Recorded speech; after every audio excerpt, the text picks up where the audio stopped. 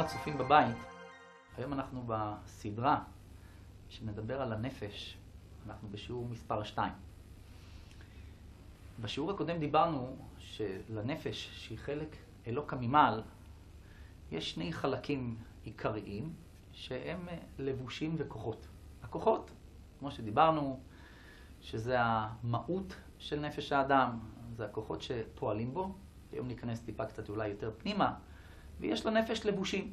לבושים זה החלק של הנפש שדרכו הוא בא, מה שנקרא, לתקשר עם העולם החיצון, שזה יכולת החשיבה של האדם, איך שבחשיבה הוא תופס את המציאות, יכולת הדיבור ויכולת המעשים.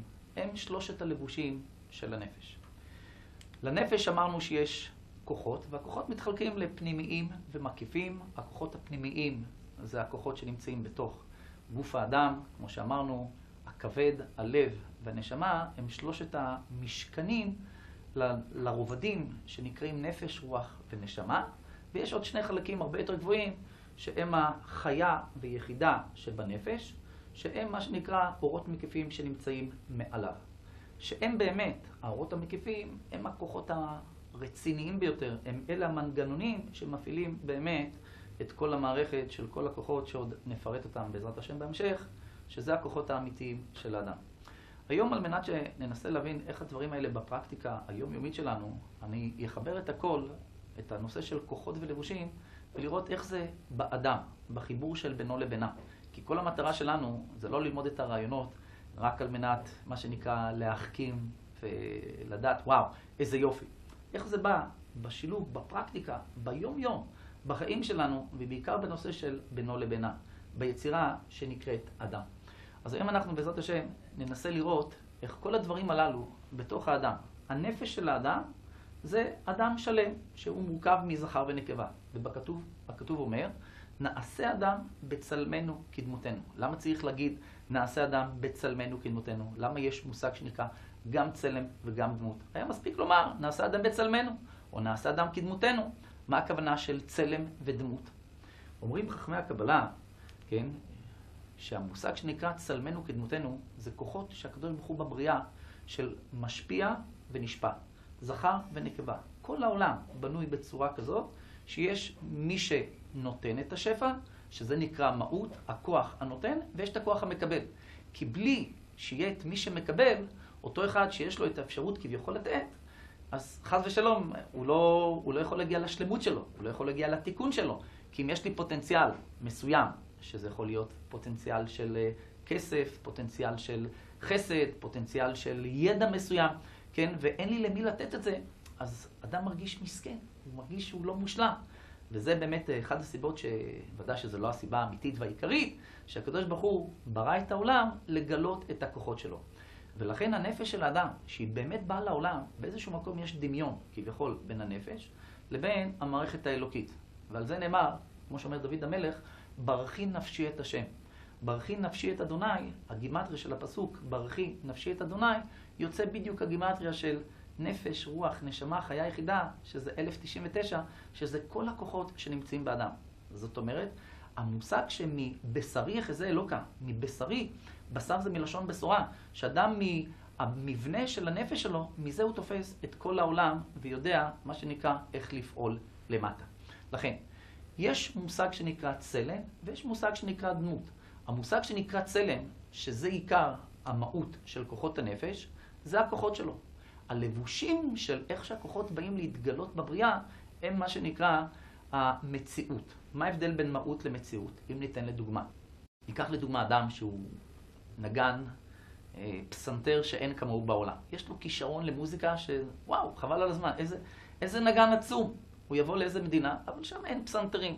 אז איזה מסכן הוא ירגיש שם? הוא רוצה לעשות הופעה, רוצה לנגן, רוצה לעשות לאנשים טוב. הוא לא מסוגל. כי הפסנתר, שזה הכלי, זה האמצעי, שדרכו אפשר לגלות את הכישורים שלו. לא שאני צריך שהפסנתר ימציא בי את הכישורים. הכישורים נמצאים בי, הטלנט, הכישרון הוא בי. אני חי אותו, זה מה שאני. רק הפסנתר נותן לי את האפשרות לתקשר עם העולם החיצון. שהוא ייהנה מהמוזיקה שאני אתן לו לשמוע, זה רק באמצעות הפסנתר. זה במשל.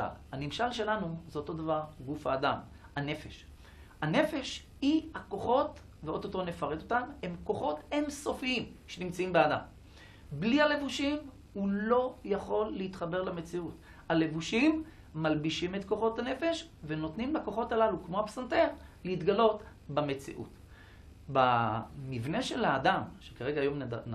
נתמקד יותר בנושא של אדם, מה זה נעשה אדם בצלמנו כדמותנו, יש באדם את שתי המערכות שנקראים זכר ונקבה. האיש הוא כנגד הכוחות, והאישה היא כנגד הלבושים. איך רואים את זה?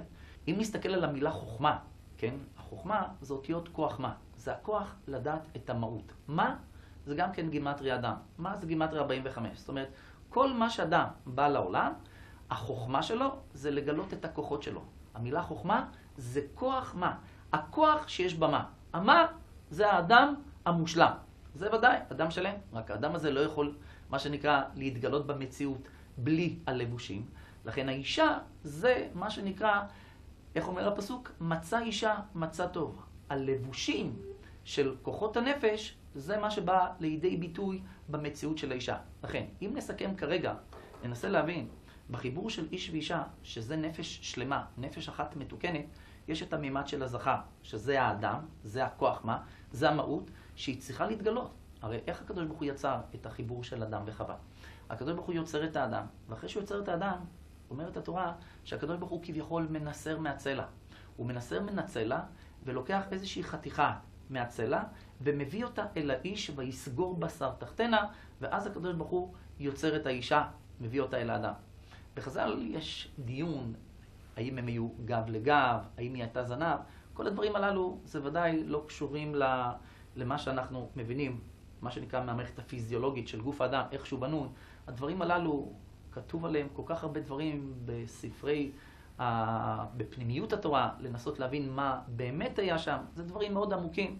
מה שאנחנו כן צריכים לקחת מההבנה הזאת, שהתורה כל כך טורחת, ובעיקר בפרק הראשון, לספר לנו על היצור הזה שנקרא אדם, על איך שהקדוש ברוך הוא מפיל עליו תרדמה ולוקח אחת מהצלעות שלו ומנסר אותה. כביכול הקדוש ברוך הוא לא יכל לייצר את האיש ואת האישה כמו שיצר את הזכרים ואת הנקבות בבעלי חיים. לא ראינו שאצל בעלי החיים הקדוש ברוך הוא צריך לקחת את האריה, לנסר לו אחת הצלעות אחרי שהוא עושה לו הרדמה, ומביא לו את אשתו, את הלוויה, מביא לאריה, ואז יש זיווג מושלם של אריה עם לוויה. לא ראינו דבר כזה. התורה רק ביצור הזה שנקרא אדם, שמה היא מפרטת לנו בדיוק את היצירה הזאת שנקראת אדם, שאדם כביכול לא מוצא עזר כנגדו, ואז צריך להפיל עליו אישה, ואחרי שמפילים עליו, מפילים עליו, סליחה, שינה, ואחרי שמפילים עליו את הישנה, מנסרים את הצלע, ואת אותו צלע, ממנה יוצרים את האישה. מה העומק, מה הרעיון, ועליו אנחנו נרצה, בעזרת השם, להעריך את הדיבור היום. אז הדברים הם כך, רבותיי. בחיבור של איש ואישה, יש שתי דרגות בחיבור. יש חיבור שנקרא פנים בפנים, שזה החיבור המושלם ביותר, כן? כל הסוד שלנו בקשר מול אלוקים זה קשר שנקרא פנים. יאר השם פניו אליך. ברכנו אבינו כולנו כי באור פניך. יש מושג שנקרא פנים, ויש מושג שנקרא אחור. מה שחז"ל אומרים שבבריאה של האדם הראשון, שהם היו כביכול מחוברים אח באח, כן? הרי מבחינה ביולוגית ודאי שאין לזה משמעות, כן? ודאי, הנושא של להביא ילודה לעולם, זה ודאי לא כאן כרגע הכוונה, זה הכוונה על המישור של מערכת יחסים בין איש לאישה. יש מושג שאתה מראה פנים לבן אדם, ויש מושג שאתה דוחה אותו כביכול אחורנית, כלאחר יד. אתה, מה שנקרא, מסתובב אליו. אתה מסתובב, מראה לו את הגב, מראה לו את האחור. זה כיוונו, הכוונה שאין כאן קשר עמוק, יש כאן קשר מאוד רגוד, רדוד, ש... מה שנקרא קשר מאוד שטחי, אין כאן קשר אמיתי. בבריאה, ביצור הזה שנקרא אדם, יש לנו בעיה בחיבור שלו. החיבור, שאנחנו נדבר עוד על כל כוחות הנפש, על המערכת החשיבתית, והמערכת הרגשית, והמערכת הטבעית, זה מערכות שאת כולם אני צריך להביא לקומבינציה הזאת של החיבור של בינו לבינה. החיבור הכי פשוט בין איש לאישה זה החיבור של זכר ונקבה. זה החיבור של כוח זכרי, כוח נקבי, ואת זה גם יש בטבע. בטבע יש זכרים ויש נקבות, בשביל זה לא צריך להשקיע הרבה, אין להם מערכות של מנגנונים של אהבה, של שנאה, של חשיבה, של בנייה, של תא משפחתי. בעלי החיים, הם לא צריכים להשקיע. כל בעל חיים הם בתקופה מסוימת, בתקופת הדגירה, בתקופת הגידול ולדות, הם משתפים פעולה, בדרך כלל הזכר והנקבה, חוץ מהזוגיונים שהם לעולם ועד, והתורה מספרת לנו את המושג שנקרא זוגיונים, וגם בחיבור של בינו לבינה, אומר שלמה המלך בשיר השירים, אחותי רעייתי יונתי תמתי. יש איזשהו דבר שאנחנו דומים למודל של היונים, לא כרגע המקום לדבר על זה. אבל המנגנון של התא המשפחתי, של היהודי, שזה שם אדם בונה את החיים שלו עד גיל 20, ובדרך כלל כשהוא כבר מתחתן, הוא מבין שהוא הולך לבנות בית עם הבן זוג שלו, והוא הולך להישאר שם כל החיים. אני מתחתן ואני רוצה לבנות כאן איזה משהו שיחזיק לעול מעט, ולא רק שיחזיק, שגם הילדים שלי, הבית הזה יהיה מודל לחיקוי בשבילם, שהוא מערכת תקנית של אבא ואימא. כי כשיש מערכת תקנית של זכר ונקבה, אז היצורים, הוולדות, הבית, מה שנקרא, מגשים את התכלית שלו. אצל אדם וחווה, בחיבור הראשון של הבריאה, שם החיבור לא היה הכי מושלם. לא סתם נולד קין, כן? לדבר, כמו שדיברנו באחד השיעורים, ודאי אנחנו חס ושלום לא מדברים על יציר כפיו של בורא עולם. אדם ראשון זה דבר מאוד מאוד עמוק, אין לנו בכלל אחיזה, הבנה מה היה שם. אבל מה שלנו כביכול מותר לדבר, כן? זה על החיבור שכתוצאה מחיבור נולדים שני אחים, קין והבל. וכמה בכור? קין והורג את אחיו. זה משהו שלא מסתדר, זה משהו שבהבנה לא מובן טוב. למה זה היה מה שהיה? אם נחבר את הדברים למושגים שלנו, אמרנו שהכוח של האיש זה הכוח של המהות. הכוח של האישה זה הכוח של לבושים. הפסוק שמדבר על החיבור של בין אדם לחווה, אומרת התורה, וידע אדם את חווה אשתו. יש שתי דרגות בדת. מה, למה אומרת התורה, וידע אדם את חווה אשתו? המילה דעת, יש דברים שאני יודע. 2 כפול 2 זה 4. 4 כפול 4 זה 16. אני יודע שיש לי בגדים, אני יודע שאני נשוי. זה מה שנקרא נתונים שאני יודע. לדעת שבנפש האדם יש מושג אחר לגמרי. דת זה גם קישור, דת זה חיבור. וידע אדם את חווה. בדת, שאדם מתחבר לאישה, או שאדם מתחבר לאלוקים, אדם יודע שיש אלוקים, אבל לפעמים זה לא מפריע לו לעשות עבירות. אבל אם אני לא רק יודע שיש אלוקים, אלא אני גם מחובר אליו כל רגע ורגע, אז הידיעה הזאת זה לא ידיעה שאני יודע שהוא קיים. זאת ידיעה שאני מרגיש את הנוכחות שלו, כן? וידעת היום והשבותה. כי אדוני הוא האלוהים, בשמיים ממעל ועל הארץ מתחת אין עוד. זה סוג של ידיעה שיש לי כזה, כזאת הרגשה של חיבור, שאני לא מסוגל להמרות את פיו. אני לא מסוגל לעשות דבר שכביכול ייצור בינינו ניתוק, ייצור בינינו מה שנקרא חוסר תקשורת כרגע. אז המושג שנקרא, המונח שנקרא דעת ביהדות, מלבד שזה כמו לדעת שאני יודע שיש לי ידע, ידע זה דבר בפני עצמו, וידיעה של הרגשה. כמו שהרבה פעמים אני אומר לזוגות, הכלה בחופה היא לא רק יודעת שהיא נשואה, היא גם מרגישה נשואה. זה סוג של ידיעה שגם נותן חוויה לרגשות. אני גם מרגישה, לכן היא נקראת כלה, כי היא מוכנה לתת את כולה. בדרך כלל גברים, מכיוון שהמבנה של הנפש שלהם בנוי בצורה אחרת, אז מתחת החופה הם רק יודעים שהם נשואים. זה רק ידיעה, זה נתון, במשרד הפנים יהיה לי רשום נשוי. אבל להרגיש את זה, זה לוקח הרבה שנים של עבודה, עד שהחשיבה של הידיעה בתור נתון שאני נשוי, עוברת לחוויה שאני מרגיש נשוי, זה עבודה של שנים. זה כמו שאישה, לדוגמה, אני לא יכול להגיד שאישה יודעת שהיא בהיריון, שזה רק ידיעה כמו שהיא יודעת שיש לה כסף בכיס, 200 או 300 שקל יש לה בארנק. זה ידיעה שטחית. אבל כשאישה יודעת שהיא, נס... שהיא בהיריון, אז זה לא רק איזשהו נתון שאני יודע שאני מרגישה את ההיריון. אני כל רגע חשה אותו, שאני אוכלת, שאני יושנת, אני קמה עם זה, אני יושנת עם זה, כל רגע אני מחוברת לידיעה הזאת. אז אם נחזור לחיבור של אדם וחווה, הפסוק אומר שם, וידע אדם את חווה. הרי חווה, לפני החיבור של אדם וחווה, לא היה לה שם, אומר אור חיים הקדוש. השם שלה היה כלול בתוך האישיות הזאת שנקראת אדם. בעקבות החטא, אדם הראשון מגדיר את השם שלה והופך אותה במקום חיה לחווה. כי ההבדל בין חיה לחווה זה חיבור בין י' לבין ו'. י' זה קומה שלמה. תמיד עשר ביהדות זה מבנה שלם. עשרת הדיברות, עשרה מכות במצרים, אברהם אבינו עשרה ניסיונות, עשרה מאמרות ניבה העולם. כל המבנה של עשר זה קומה שלמה של עשר ספירות, עשר מאמרות, עשר כוחות. חיבור של ו' התורה מתחילה במילה בראשית. בראשית, ברא שיט. ברא שש. הקדוש ברוך הוא ברא שש. אבל אם נשים לב, ובזה נדבר יותר מאוחר, אשר ברא אלוקים לעשות. בראשית ברא אלוקים את השמיים ואת הארץ, והארץ הייתה תוהו ובוהו. כן, מה שהקדוש ברוך הוא ברא, המילה בראשית, השש קצוות של הבריאה, שזה שש קצוות של הזמן, זה מימדים שצריך לתקן אותם, שהם לא מתוקנים.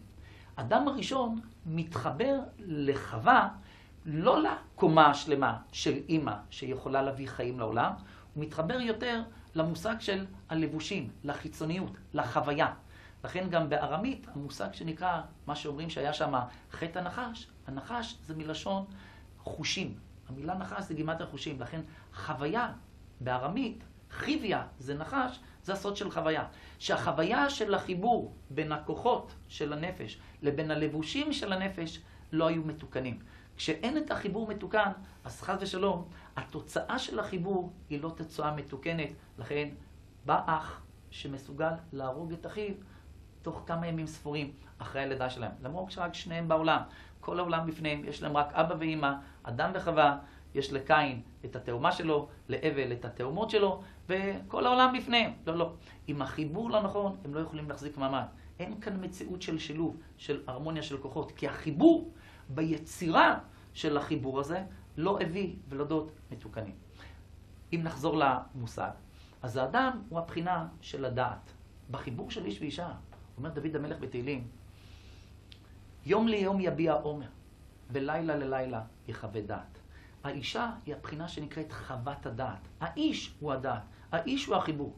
רק אם לדעת אם החיבור נעשה נכון או לא נעשה נכון, חז"ל אומרים שמי שמכיר את האדם הכי הרבה, הכי טוב, זאת אשתו. כי היא יש לה חוות דעת. יש לה חווה שהיא קיבלה את החוויה בשביל מה בעלה מתחבר אליה. הוא מתחבר אליה בשביל הבחינה שנקראת חוויה, מלשון שאנחנו רוצים לבנות בית, שיש כאן חיבור אמיתי, ועוד מעט נסביר מאיפה הכוחות הללו נובעים, או שיש כאן חיבור רק למבנה החיצוני של מה שנקרא הלבושים של הנפש, לא לכוחות הנפש האמיתיים.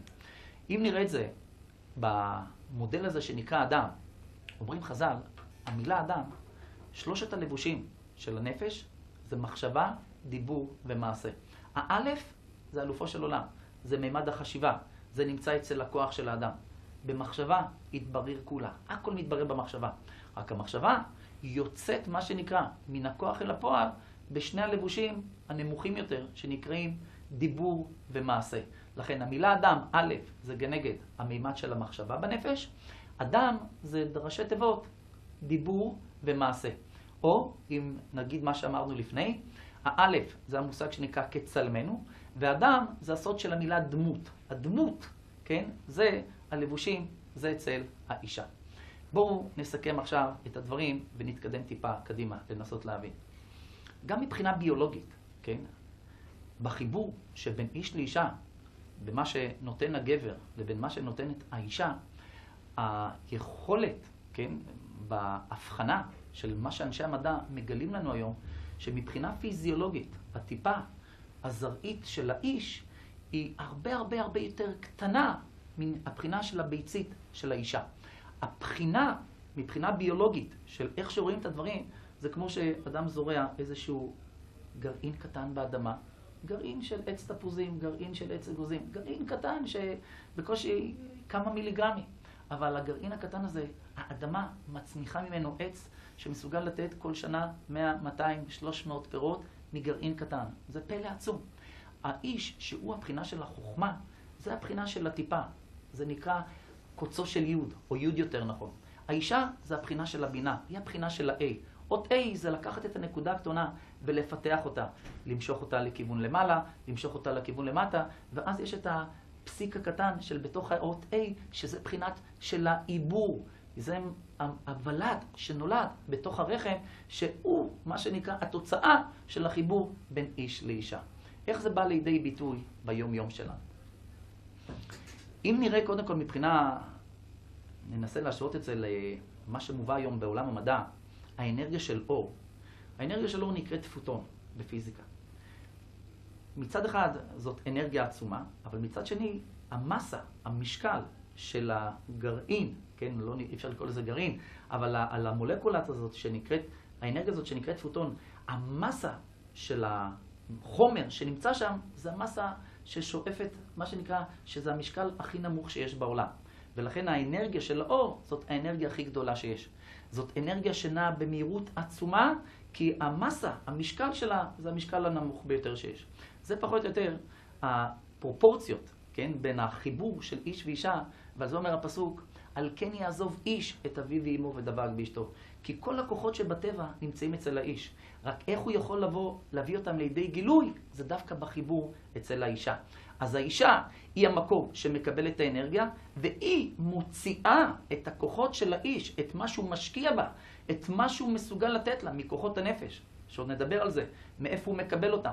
את כל כוחות הנפש שלו הוא משקיע בה, והיא, מה שנקראת המערכת הלבושים, שמגלה את הכוחות שלו במציאות. ולכן, אם ניקח את זה בפרקטיקה של היום-יום, יכולים לראות שאם ניקח לדוגמה מלתחה של בגדים בבית, כמה ארונות צריך הגבר וכמה בגדים צריכה האישה. למה אישה מתלבשת כל כך הרבה? למה היא צריכה את הדברים האלה? אותו דבר בנושא של קניות, אותו, בכל הנושאים של כל מה שקשור לבית בדרך כלל, בחיצוניות, בכל הדברים. חז"ל אומרים, העולם הזה זה הבחינה של האישה. כי האיש, מצד הכוחות האמיתיים שלו, הוא לא צריך את העולם הזה. הוא רק צריך את זה כמו אותו פסנתר, שאני חייב לגלות את הכוחות שלי, זה דרך הלבושים. כי בלי הלבושים אני לא מסוגל לגלות מי אני, לדעת מה הכוחות שפועלים בי. אז אותה אישה, שהקדוש ברוך הוא מנסר אותה מהצד של האיש, שהיא חלק מהכוחות שלו, כן, בספירות, היא נקראת מה שנקרא ספירת המלכות, שדרכה הקדוש ברוך הוא, כן, מגלה לאיש באמת מי הוא. ולכן פעם אמר לי אחד הרבנים שלי, אתה יודע מה הסיבה האמיתית שבן אדם מתחתן? הסיבה האמיתית שהוא מתחתן, כי הרי לפני הנישואים, אדם, אם הוא בחור ישיבה, או לא משנה באיזה מסגרת חינוכית הוא גודל, כן, כל זמן שאתה בתור רווק, אתה יכול להיות בתור סטודנט, בתור אברך, בתור אה, אה, בחור ישיבה, זה לא משנה איפה, כל זמן שאתה מתוקצב מהמשפחה, אתה חי אצל ההורים, עדיין אין לך את העול של הפרנסה, אין לך את ההתחייבות של משכנתה, אתה עדיין, מה שנקרא, לא נכנסת לחובות, אז אתה, הכל רגוע, אתה לא יכול להכיר את עצמך. אחרי שאדם מתחתן, וכבר מתחיל להביא ילדים לעולם, ויש לו את עול הפרנסה, וצריך לשלם כך וכך, 4,000, 3,000, 5,000 שקל רק משכנתה בחודש, והאישה בהיריון, וצריך לקום בלילה, ולא יושנים כמו שצריך. עכשיו מתחילים להתגלות הכוחות האמיתיים שלך. עכשיו אתה מתחיל לגלות מי אתה. עכשיו אתה רק בעצם מתחיל לעבוד על עצמך. לכן לפני הנישואים אף אחד לא מכיר את עצמו. גם אדם עם עצמו שהיה בחדר, בישיבה, בפנימייה, לא משנה, עם ארבעה, חמישה חברים, כן, באותו חדר, והוא מסתדר ומתחלק ויודע מה שנקרא לעבוד עבודת צוות ולהתחבר לחברה, כל זה עדיין לא אומר כלום לגבי החיים של החוויה של הנישואים. כי כשאדם מתחתן, הוא נכנס לסיטואציות שהוא בחיים לא היה בהן. וגם לפני זה, אם הוא היה מתאר לעצמו לאיזה מערכת אני נכנס, כי הוא ראה את האחים שלו נשואים, הוא ראה את הבית שלו, הוא ראה הרבה דברים, אבל אתה לא יודע איך זה יפעל עליך. כי כל אחד מאיתנו יש לו נפש שהיא חלק אלוקה ממעלה. ואותה נפש יש לה חלקים, שעוד בעזרת השם נצטרך להסביר עליהם, שהם פועלים על האדם בצורה כזאת שיש לי חלק שאני מודע וחלק שאני לא מודע. אם רק נגדיר את ההגדרות, אומרים הפסיכולוגים שאם היינו יודעים את כל מה שקרה לאדם במהלך חייו, איך הוא גדל, באיזה סיטואציות הוא היה עם ההורים, בגן, בבתי ספר, וממש נראה את כל התרחישים, שמה שנקרא של הניסיונות שהוא עמד בהם, אנחנו נוכל לתת בדיוק איזה דפוסי התנהגות יהיו לו בניסיונות מסוימים. כך אומרת הפסיכולוגיה. כי הפסיכולוגיה מסבירה שבתת מודע יש העל מודע בנפש ויש את התת מודע. בתת מודע של הנפש נכנסים המון המון סוגים של חוויות, של כל מיני רגישויות, של כל מיני מצבים שאדם היה בהם, והם נמצאים ויושבים לו שם. ולכן כל פעם שבאה איזושהי סצנה, איזושהי סיטואציה שאני נמצא בה, אז לפי מה שיושב לי בתת מודע, תהיה לפי זה התגובה של אהבה, של שנאה, של ריחוק, של קירוב, לגבי אותו תגובה. למשל, למה הדבר דומה? שיש לך איזשהו חבר, חבר ילדות, שיש לך רישומים עליו, מתקופת הבית ספר, מתקופת בית ספר היסודי, מהתיכון, מהצבא, מהאוניברסיטה, לא משנה מאיפה. זה בן אדם שאתה חווית איתו חוויות. עשר שנים היה ניתוק, אחרי עשר שנים אתה רואה אותו, הוא מגיע למשרד עורכי דין שלך, או שהוא מגיע לאיזה שירותים שאתה מסוגל לתת לו, שאתה רוצה להעניק לו, הוא בא בתור קליינט, וכבר בתת מודע יש רישומים שהתגובה שלך כלפי אותו בן אדם תלויים מאוד, תלויים הרבה מאוד בחוויות שהיו לך איתו. ואז זה מה שהמושגים שהחברים משתמשים בהם היום. זה יש אנרגיה חיובית, אנרגיה שלישית, אנרגיה שלילית אולי. אתה רואה אם אתה מתחבר או לא מתחבר לבן אדם בגלל מה שיושב בתת מודע שלך. אבל בתורה מגלים לנו שהתת מודע זה חוויות שנכון, שהדחקתי, שהן נמצאים במאגר הזיכרון שלי, לא לכולם אני מודע, אבל הן משפיעות על ההחלטות שלי, הן משפיעות על האני. אבל זה בנפש הבהמית של האדם. אבל הנפש האלוקית שלך, שהיא חלק אלוקי ממעלה, היא מסוגלת לתפוס את המציאות לא מצד מה בא לי, מה מתחשק לי, איך אני רוצה להגיב. אני מסתכל על הבריאה בצורה כזאת שאני חלק מהמערכת האלוקית, אני חלק מהמקום הזה שרוצה שהעולם הזה ייצר כבוד שמיים. הרי כמו שהפסוק אומר, כל הנקרא בשמי, לכבודי, ברטיב, יצרתיו, אף עשיתיו, ואני רוצה שעכשיו דרך הבן אדם הזה, זה לא משנה אם אני יכול לעזור, לא רוצה לעזור, אבל אני חייב שלראות את הבן אדם הזה בתור אחד שאני, כמו הבן שלי, אני רוצה לעזור לו שהוא גם חלק מהבריאה האלוקית, וגם עליו נאמר, מה רבו מעשיך שהם כולם בחוכמה עשית, וזה לא משנה בכלל מה אני מרגיש, מה התחושות, מה התחושות בטן שלי כלפי איך אני רוצה להגיב. זה לא מעניין בכלל. בעולמו של בורא, אם אני מבין שהקדוש ברוך הוא ברא את החייל הזה, ברא את הכוח הזה, ברא את הנתון הזה, ועכשיו הוא העמיד אותי בניסיון איתו, אני מסוגל לסלק את כל הדחפים הפנימיים שיש לי, ולהתנהג לפי איך שהנפש האלוקית, ודאי, לפי הרמות הרוחניות שאני נמצא שם, מה זה לא תיקום, לא תיטור, בלבד שכל מעשיך יהיו לשם שמיים, ובאמת לתת לבן אדם הזה תפקיד ב... בעולם, שאני באמת ארצה שהוא יצליח ואני אעזור לו עד כמה שאני יכול, בלי ודאי לפגוע בתפקיד שלי, ביכולות שלי, בתא המשפחתי שלי, ודאי, כל אחד, אבל על זה נאמר, ובלבד שכל מעשיך יהיו לשם שמיים. אז אם, נס... אם נסכם, אז באמת שבתת מודע ודאי, יושבים המון נתונים, יושבים הרבה סוגים של חוויות שנמצאים שם, שהם ודאי הולכים להשפיע על האני, איך אני מגיב. אבל זה כל זה עם הנפש הבהמית. עם הנפש של מה שנקרא החלק הרדוד ביותר, שזה החוויה הראשונית שאני נמצא פה בעולם איתה.